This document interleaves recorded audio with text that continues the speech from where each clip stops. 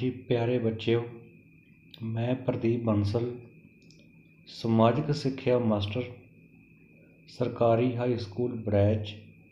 ਅੱਜ ਅਸੀਂ ਇਸ ਵੀਡੀਓ ਰਾਹੀਂ ਭਾਰਤ ਦੇ ਪ੍ਰਧਾਨ ਮੰਤਰੀਆਂ ਦੇ ਨਾਮ ਬੜੇ ਹੀ ਸੌਖੇ ਤਰੀਕੇ ਨਾਲ ਯਾਦ ਕਰਾਂਗੇ, ਜੋ ਕਿ ਅਸੀਂ ਜ਼ਿੰਦਗੀ ਦੇ ਵਿੱਚ ਕਦੇ ਵੀ ਨਹੀਂ ਭੁੱਲਾਂਗੇ।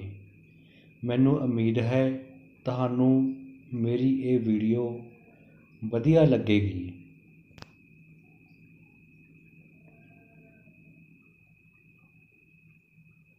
ਮੈਂ ਇਹ ਵੀਡੀਓ ਜੁਲਾਈ ਦੇ ਮਹੀਨੇ ਨਾਲ ਜੋੜ ਕੇ ਬਣਾਈ ਹੈ।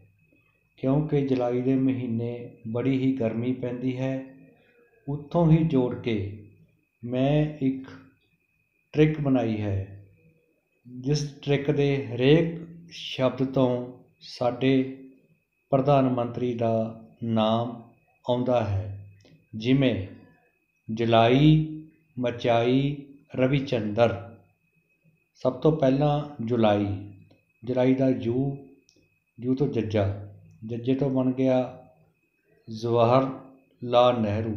ਪੂਰਾ ਨਾਮ ਪੰਡਿਤ ਜਵਾਹਰ ਲਾਲ ਨਹਿਰੂ ਪੰਡਿਤ ਜਵਾਹਰ ਲਾਲ ਨਹਿਰੂ ਫਿਰ ਆ ਗਿਆ ਲਾ ਲਾ ਤੋਂ ਬਣ ਗਿਆ ਸਾਡੇ ਦੂਜੇ ਪ੍ਰਧਾਨ ਮੰਤਰੀ ਲਾਲ ਬਹਾਦਰ ਸ਼ਾਸਤਰੀ ਲਾ ਤੋਂ ਬਣ ਗਏ ਸਾਡੇ ਦੂਜੇ ਪ੍ਰਧਾਨ ਮੰਤਰੀ ਲਾਲ ਬਹਾਦਰ ਸ਼ਾਸਤਰੀ ਫਿਰ ਆ ਗਿਆ ਈ ਇਸ ਤੋਂ ਬਣ ਗਿਆ ਸਾਸ ਸਾਡੇ ਤੀਸਰੇ ਪ੍ਰਧਾਨ ਮੰਤਰੀ ਸ਼੍ਰੀਮਤੀ ਇੰਦਰਾ ਗਾਂਧੀ, ਜੋ ਕਿ ਸਾਡੀ ਪਹਿਲੀ ਇਸਤਰੀ ਪ੍ਰਧਾਨ ਮੰਤਰੀ ਬਣੀ।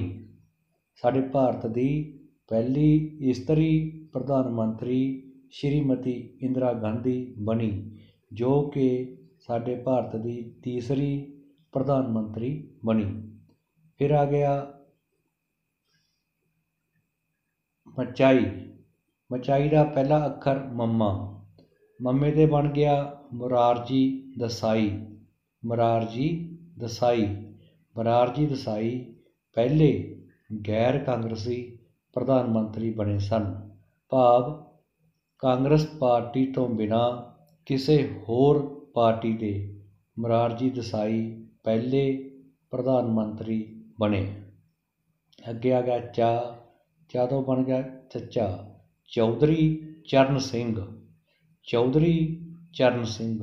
ਸਾਡੇ ਪੰਜਵੇਂ ਪ੍ਰਧਾਨ ਮੰਤਰੀ ਬਣੇ ਚੌਧਰੀ ਚਰਨ ਸਿੰਘ। ਫਿਰ ਆ ਗਿਆ ਈ। ਈ ਤੇ ਫਿਰ ਸ਼੍ਰੀਮਤੀ ਇੰਦਰਾ ਗਾਂਧੀ।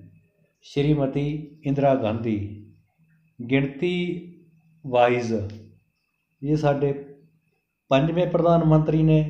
ਜੇਕਰ ਅਸੀਂ ਜੇਕਰ ਅਸੀਂ ਲੋਕ ਸਭਾ ਦੀਆਂ ਚੋਣਾਂ ਦੇਖੀਏ ਤਾਂ ਉਸ ਦੇ ਮੁਤਾਬਕ ਇਹ ਸਾਡੇ ਛੇਵੇਂ ਨੰਬਰ ਦੇ ਪ੍ਰਧਾਨ ਮੰਤਰੀ ਬਣੇ ਸ਼੍ਰੀਮਤੀ ਇੰਦਰਾ ਗਾਂਧੀ। ਫਿਰ ਆ ਗਿਆ ਰਵੀ ਚੰਦਰ। ਅੱਗੇ ਆ ਗਿਆ, ਸਾਡਾ ਆ ਗਿਆ ਰਵੀ ਚੰਦਰ। ਰਵੀ ਚੰਦਰ ਦਾ ਪਹਿਲਾ ਰਾ ਰਾ ਤੋਂ ਆ ਗਿਆ ਰਾਜੀਵ ਗਾਂਧੀ। ਰਾਜੀਵ ਗਾਂਧੀ ਜੋ ਕਿ ਸ਼੍ਰੀਮਤੀ ਇੰਦਰਾ ਗਾਂਧੀ ਜੀ ਦੇ ਸੁਪੁੱਤਰ ਸਨ। ਜੋ ਕਿ ਸ਼੍ਰੀਮਤੀ ਇੰਦਰਾ ਗਾਂਧੀ ਜੀ ਦੇ ਸਪੁੱਤਰ ਸਨ। ਅੱਗੇ ਆ ਗਿਆ ਵੀ ਵੀ ਤੋਂ ਬਣ ਗਿਆ ਬੀ ਪੀ ਸਿੰਘ। ਵੀ ਤੋਂ ਬਣ ਗਿਆ V P Singh. V P Singh ਵੀ ਗੈਰ ਕਾਂਗਰਸੀ ਪ੍ਰਧਾਨ ਮੰਤਰੀ ਸਨ।